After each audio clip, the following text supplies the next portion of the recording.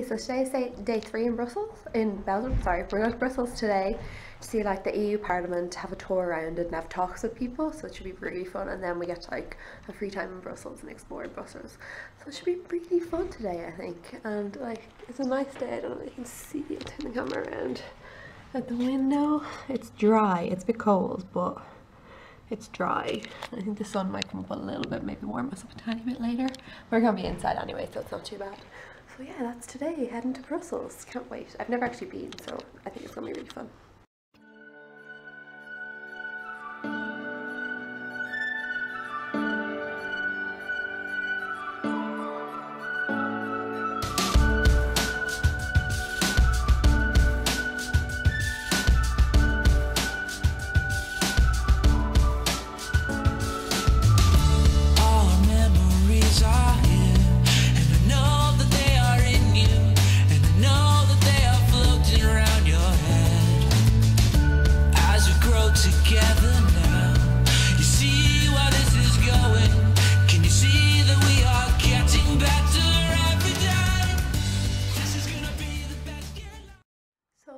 Just arrived back from the European Parliament in Brussels. We had a dinner. We had pizza. It was amazing.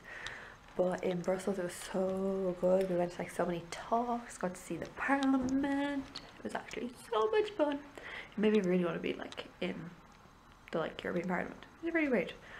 But yeah, it was so good. And now we're probably just gonna get ready to maybe go out, have a couple of drinks, and just chill. So I think that's the plan, but I'm not really sure. But Brussels Day was so good. If you ever have a chance, to go visit the European Parliament. It was amazing. So today we're going to Ypres, uh, which is like the site of like World War graves in Belgium. And we're getting like guided tours around and stuff, so it should be really interesting. I love history, so it should be really interesting for me. So that's what we're doing today. We have to get a bus I think it's a two hour bus ride up there.